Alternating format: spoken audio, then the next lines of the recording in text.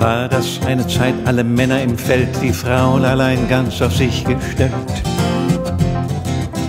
Ich wuchs auf unter Tanten, Schwestern, Cousine, die es schwer mit mir hatten, aber ich auch mit ihnen, alles Frauen mit starker Persönlichkeit.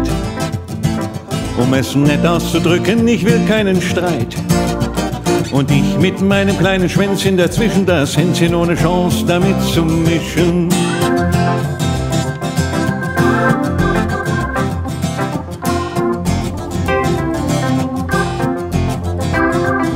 Auch in meiner Lehrzeit war ich dann unter 70 Frauen der einzige Mann.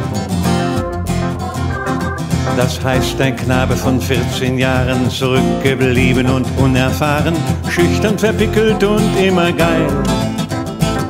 Voller Angst vor den Mädchen, die mich zum Teil total durchschauten und in diesem Wissen dann noch extra zotige Witze rissen. Schön ist die Jugend so sorglos und frei.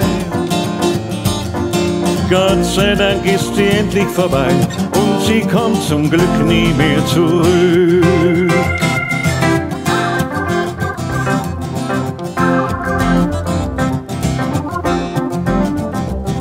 Wie beneidete ich meine Schulfreunde da, die ich nur noch sonntags im Freibad sah. Sie lernten beim Bau, schleppten Balken und Steine, hatten tiefbraune Rücken und schneeweiße Beine. Ihre schwierigen Pranken baumelten schwer. An noch kindlichen Gliedern wie fremd hin und her.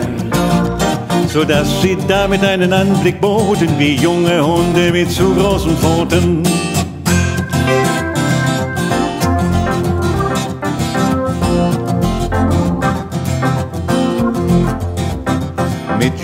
Rock'n'Roll klebte jeder sich dann amerikanisch klingende Namen an. Darum mussten wir Friedhelm auch Django nennen und durften dafür mit seiner Schwester pennen. Alle nannten sich Charlie, Mike oder Joe. Wenn ich mich nicht irre, ist das heute noch so. Nur ich wurde Hänschen gerufen, von allen dabei hätte Johnny mir besser gefallen. Schön ist die Jugend so sorglos und frei.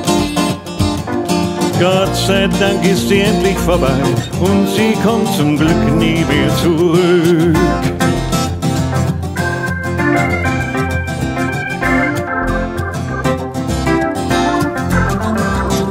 Ich lernte Gitarre, ich dachte dann, komme ich leicht an Mädchen ran. Ich sang für umsonst auf jeder Fete, wegen der Mädchen, heute sing ich für Knete. Meist knutschte das Mädchen, das neben mir saß, mit den anderen Jungs, weil ich alles vergaß.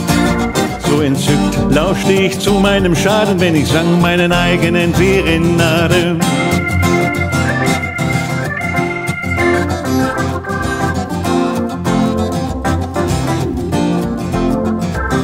Nach und nach wurde ich mit meinen Liedern bekannt, aber meine Mutter, die sie abstoßend fand,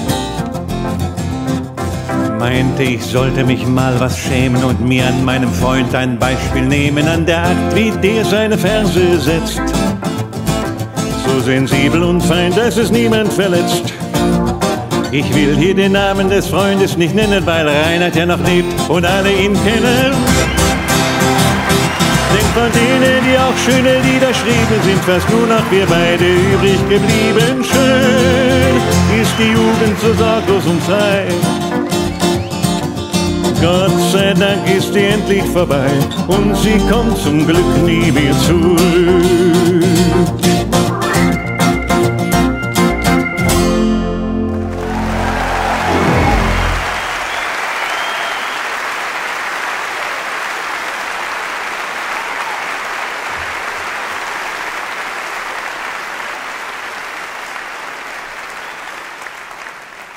kleine Stadt.